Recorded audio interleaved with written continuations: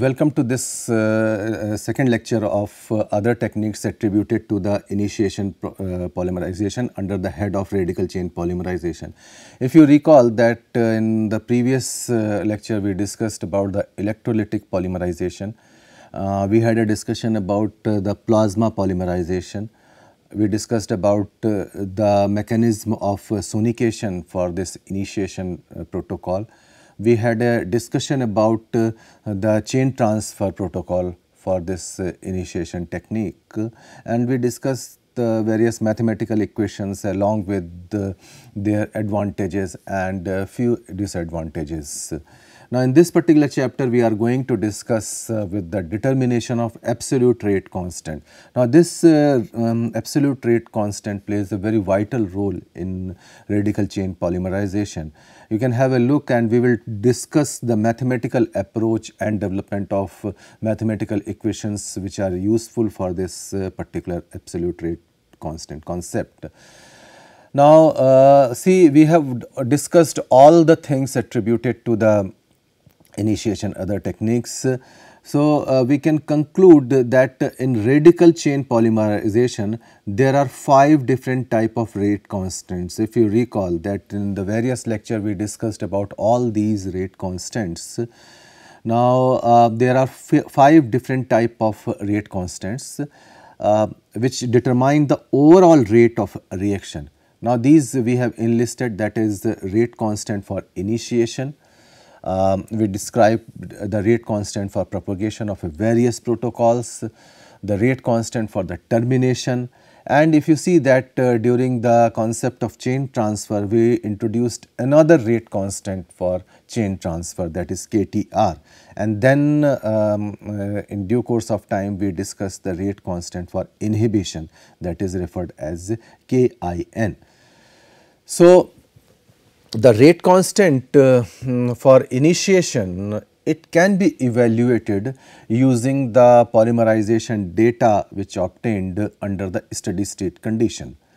So, the rate constant for uh, propagation it can be determined through either rotating sector method that is uh, the old concept and another one is the pulsed laser polymerization size exclusion chromatography sometimes referred as PLP SEC. This is a newer concept for the determination of rate constant for the propagation step. Now, let us have a brief outlook for this uh, rotating sector uh, method. Now, if uh, we see that if tau s uh, this denotes the average lifetime of uh, growing radical under steady state condition so, sometimes it can be defined as the ratio between the radical concentration that is uh, sometimes uh, referred as uh, this ms uh, radical uh, to the rate of disappearance. So, the tau s can be represented as uh, concentration of this um, radical concentration then divided by 2 kT then concentration square of this radical equal to 1 upon 2 kT ms1 or this tau s so this is the average lifetime of growing uh, radical under steady state condition and is equal to kp concentration of monomer upon 2 kT rp. Now, if uh, we draw a relation between tau s and the rate of polymerization then the ratio of uh, k upon k can be determined. Now, let us have a look about uh, the PLP-SEC method. Uh, this is uh, like the rotating sector method. This involves a non-steady state photopolymerization. So, under the pulsed laser irradiation, the primary radicals are formed in a very short time. Sometimes uh, it is in the time gap of say uh, 10 nanosecond pulse width. That compares to the cycle time, sometimes it is equivalent to 1 second. So, this uh, pulse laser protocol uh, or photopolymerization SEC method uh, for the measuring of uh, the rate constant for propagation, this requires the reaction conditions be chosen so that uh, no significant chain transfer is usually present. Now, this uh, PLP SEC method uh, for measuring the, the uh, rate constant for propagation, it requires uh, that reaction condition which needs to be chosen so that there should be no significant chain transfer is present. So, when we talk about the degree of polymerization for chain termination by the primary radicals, so it is uh, given by this uh, IKP concentration of um, TP. Now, here the TP is the multiple dark periods in cycle. Now, uh, when we talk about the rate of polymerization, so each of the rate constant uh, for initiation, propagation, termination can be expressed by Arrhenius type of uh, relationship. Uh, so, uh, this is a very important uh, relationship. Now, here this k is equal to exponential minus E upon RT. Things are in their usual notation. Now, let us have a look about the rate of uh, polymerization. Um,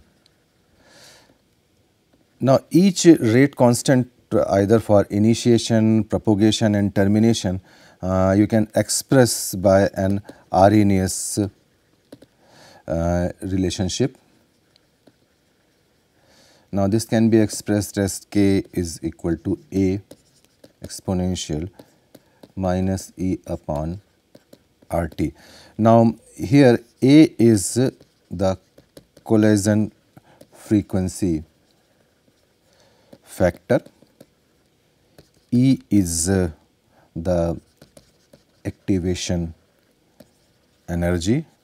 So, uh, the plot between uh, ln k and uh, 1 upon t uh, allows the determination of uh, A and E. So, the related terms of um, A and E for initiation, propagation and termination they may be represented as AI, um, AP, AT and similarly activation energy terms may be EI, EP and ET. So, uh, if you recall that we discussed that initiation, propagation and termination. Now, um, the temperature dependence of uh, thermal decomposition um, can be given by this is uh, the temperature dependence for thermal decomposition. This can be given by Ln. The thermal decomposition is again very important factor which we discussed. So, this Ln Kp Kd this is the rate constant for the, the decomposition. Then this Kt is the rate constant for uh, termination. This is equal to ln AP that is the which we have already described then AD upon AT half minus EP ED that is uh, the activation energy of dissociation by 2 minus activation energy for termination upon RT. So, uh, when uh, we talk about the overall activation energy, so the overall activation energy for rate of polymerization ER. It can be represented as ER is equal to EP plus ED that is the activation energy of dissociation by 2 minus activation energy of termination by 2. So, you can represent this overall activation energy for rate of polymerization with this equation. So, if you if we utilize uh, this equation then uh, we can write um, the ln Rp is equal to ln AP that is uh, the collision frequency factor for propagation, then uh, collision frequency factor for dissociation and then collision frequency factor for termination divide to the power half plus ln f concentration of initiation to the power half m minus E r upon R t. So, here E r and A p that up A d A t to the power half can be calculated by slope and intercept of the plot between ln Rp versus 1 upon T. So, this is again uh, this is a very important factor through which you can calculate the slope and intercept of the plot. So, you need to plot these things and by this way you can calculate the same. Now, uh, when we consider the uh, thermal ca catalyzed polymerization, uh, let us consider the thermally catalyzed polymerization where uh, you consider the, the transfer reactions are negligible. So, the effect of uh, temperature obviously we cannot negate the, the, the this particular approach. So, the effect of temperature on uh, say molecular weight can be determined by degree of polymerization factor of polymerization factor.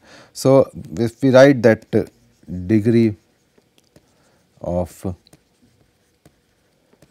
polymerization factor which is uh, represented as Kp that is the rate constant for the propagation reaction uh, uh, propagation and then rate constant for uh, dissociation and termination to the power half.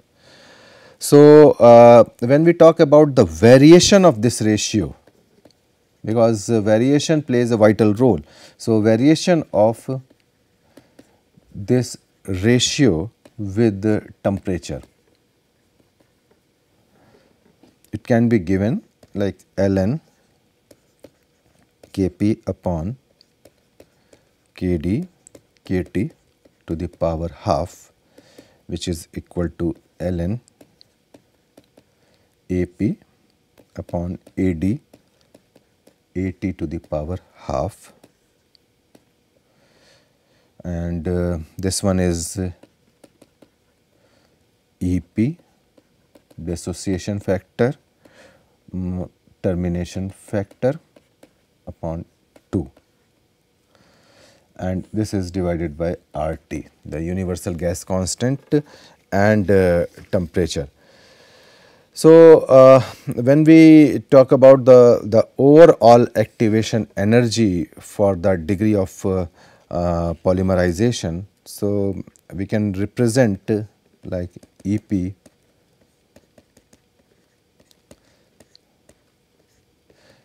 ET upon 2. This is the, the overall activation energy for the degree of polymerization this is represented by this one. So, uh, sometimes uh, people may talk about uh, the bimolecular termination. Uh, now, bimolecular termination we can generate or we can have uh, um, uh, the basic equation. So, let us talk about the bimolecular termination.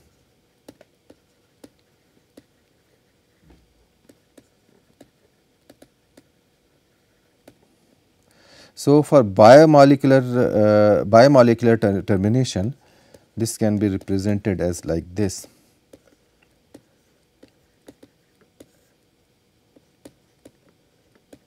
ADAT to the power half plus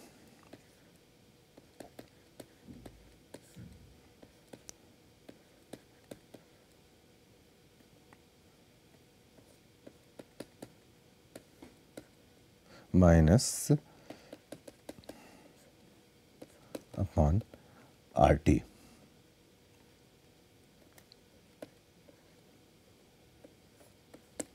So, this is uh, the equation uh, for bimolecular termination. So, by this way we discuss the different uh, uh, rate equations and we discussed the five different type of uh, rate constant uh, attributed to the all aspect of uh, this radical chain uh, polymerization. And uh, in this lecture we discussed the generation of uh, the different other rate constants with the help of Arrhenius equation. So, in case if you have any query and other things you may refer the different references which you have listed in this particular slide. Thank you very much.